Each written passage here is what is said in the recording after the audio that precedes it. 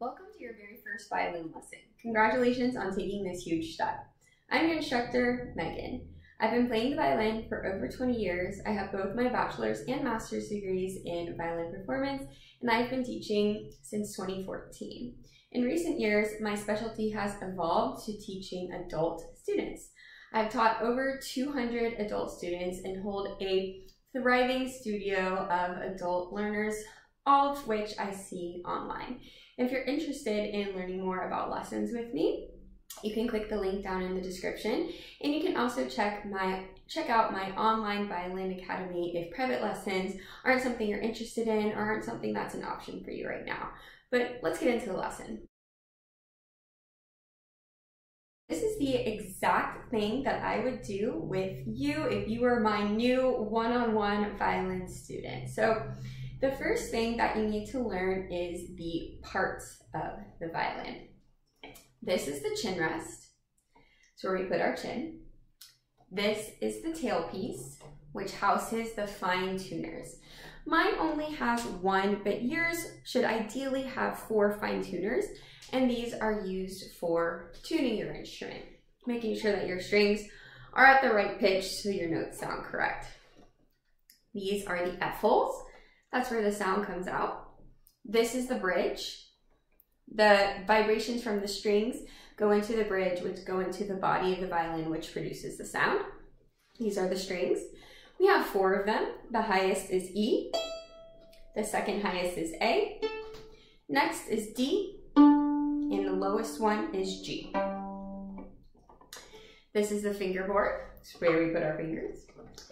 These are the pegs. These are also used to tune, but in larger intervals. Again, if you are a beginner, I do recommend having the fine tuners down here, but you may find that you have to use these pegs if one of your strings gets wildly out of tune. And this is the scroll. This is just the head decorative part of the violin.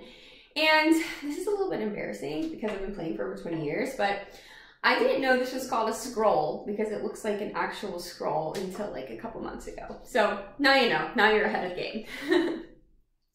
this is the bow. This part of the bow down here is called the frog. This is the tip and this is the hair. It's important to be familiar with these parts in case that they are referenced in this lesson or any other lessons that you watch. The next thing we're going to do is learn how to hold the bow. So if you don't have yours around, go ahead and grab it. I'll wait. So your bow is going to be held in your right hand. I'm also going to put a, another video that I did on how to hold the bow, which is a little bit more in depth. So I want you to actually take your bow in your left hand and hold it out in front of you like this. Keep in mind that since this is mirrored, it's going to look opposite of me. So your frog should actually be on that side. Hold up your right hand like you're gonna give me a high five. Bend your thumb. And place your thumb on the outside of the frog, on this metal part.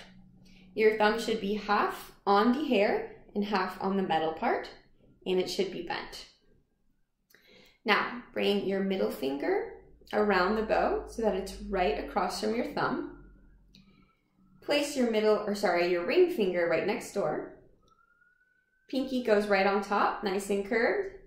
And your index finger is going to hug the bow, touching the bow between the first and second knuckles. I like to start out with students using their thumb on the outside of the bow because this is a little bit harder to control. But if you feel like you're ready for it, you can bring your thumb inside the bow directly on top of the frog. Again, making sure that it stays nice and bent. Shake your hand out and show me a good bow hold. Thumb, wherever you choose to put it, in or out. Middle finger right across. Ring finger right next door. Pinky right on top. And index finger hugs the bow. It's so important to get this right from the very beginning so that you don't develop any bad habits and so you can produce a good sound. Now let's learn how to hold the violin go grab yours if you don't have it next to you. So before we do, I want to say a quick note about shoulder rest, which is this thing right here. I do recommend at least trying out a shoulder rest at first. When we hold the violin, this is pretty unnatural position, right? So we want to try to be as comfortable as possible. And a part of that is keeping our shoulders level when we hold our instrument. If I take my shoulder rest off, you can see that there's quite a bit of space between my violin and my shoulder. So what happens is I compensate by doing that, and then my shoulder starts to hurt, my neck starts to hurt, and I don't know about you, but I don't, I don't need any more aches and pains. so I do recommend using a shoulder rest. I will leave one link down below, and um, so that it takes up that space and your shoulders can remain level. So place your violin on your collarbone right here with the back part of it up on your shoulder like this, holding it with your left hand. Turn your head to the corner about 45 degrees and gently press down. You will feel a slight bit of tension, but just enough so that you can keep the violin in place and be able to hold it with no hands. Let's count to five, holding the violin with no hands.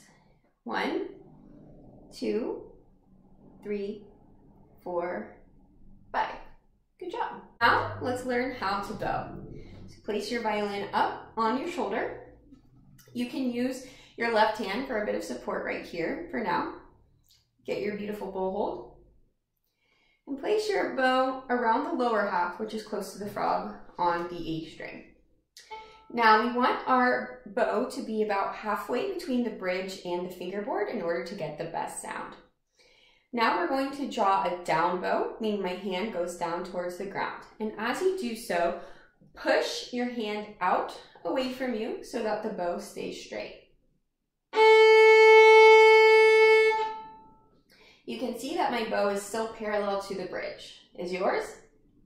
That pushing out or pushing away from you is very, very important because that's what keeps the bow straight. Now, as we perform an up bow, which is this way, we're going to bring the hand in. Again, just so our bow stays straight.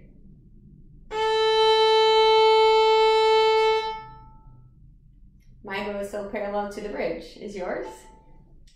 It's a good idea to practice these open strings for at least a couple days, probably more, to make sure that one, your bow, staying bow is staying straight, two, you're getting a good sound, three, you're maintaining a proper bow hold, and four, you're holding the violin in a relaxed position.